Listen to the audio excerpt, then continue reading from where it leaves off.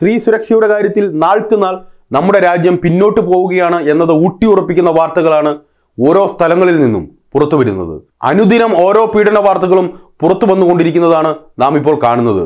ചോരക്കുഞ്ഞെന്നോ വന്ധ്യവയോധികയെന്നോ ഉള്ള തിരിച്ചറിവില്ലാതെ വിദ്യാർത്ഥിനിയെന്നോ അധ്യാപകരെന്നോ പോലീസ് ഉദ്യോഗസ്ഥരെന്നോ ഒന്നുമുള്ള വേർതിരിവുകൾ ഇല്ലാതെയാണ് പലപ്പോഴും ഇത്തരം പീഡന വാർത്തകൾ പുറത്തു വരുന്നത്. ഉത്തരേന്ത്യയിൽ നിന്നായിരുന്നു ഇത്തരം വാർത്തകൾ ഒരു കാലത്ത് സജീവമായി നിരന്തരം പുറത്തു വന്നുകൊണ്ടിരുന്നതെങ്കിൽ ഇന്ന് നമ്മുടെ സാക്ഷര കേരളത്തിൽ നിന്നും ഇത്തരം ലജ്ജാവഹമായ വാർത്തകൾ പുറത്തു വരികയാണ്. പാലത്തായി മുതൽ വാളയാർ കേസുകൾ വരെ ഒരു സൈഡിൽ കൂടെ നടക്കുമ്പോൾ ആത്മീയ കേന്ദ്രങ്ങളും ആരാധനാലയങ്ങളും കേന്ദ്രീകരിച്ചും ഇത്തരം പീഡനങ്ങൾ നമ്മുടെ പെൺകുട്ടികൾ അനുഭവിക്കുന്നുണ്ട് എന്നതാണ് ഏറ്റവും വലിയ വേദനാജനകമായ കാര്യം. അത്തരമൊരു വാർത്തയാണ് ഇപ്പോൾ കോഴിക്കോട് നിന്നും പുറത്തു വരുന്നത്. പ്രായപൂർത്തിയാകാത്ത പെൺകുട്ടിയെ ലൈംഗികമായി പീഡിപ്പിച്ച കേസിൽ കളരി ഗുരുക്കൾ ഇത് അറസ്റ്റിലായിരിക്കുന്നു. പേരാമ്പ്ര പുറ്റമ്പൊയിൽ സ്വദേശിയായ മജീന്ദ്രനെയാണ് പോലീസ് അറസ്റ്റ് ചെയ്തത്. പ്രതിയെ പോക്സോ കോടതി റിമാൻഡ് ചെയ്തു.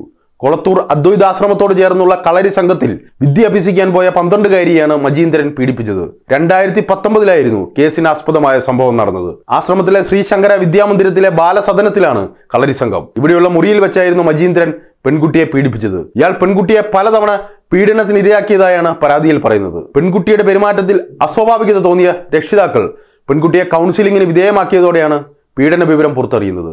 കാക്കൂർ പോലീസ് കുട്ടിയുടെ വിശദമായ മൊഴിയെടുത്തിട്ടുണ്ട്. മാതൃകാപരമായ ശിക്ഷ പലപ്പോഴും ഇത്തരം കേസിലെ പ്രതികൾക്ക് ലഭിക്കുന്നില്ല എന്നുള്ളത് തന്നെയാണ്. ഇത്തരം കുറ്റകൃത്യങ്ങൾ ആവർത്തിക്കപ്പെടാനുള്ളതിന്റെ പ്രധാന കാരണമെന്ന കാര്യത്തിൽ യാതൊരു തർക്കവുമില്ല.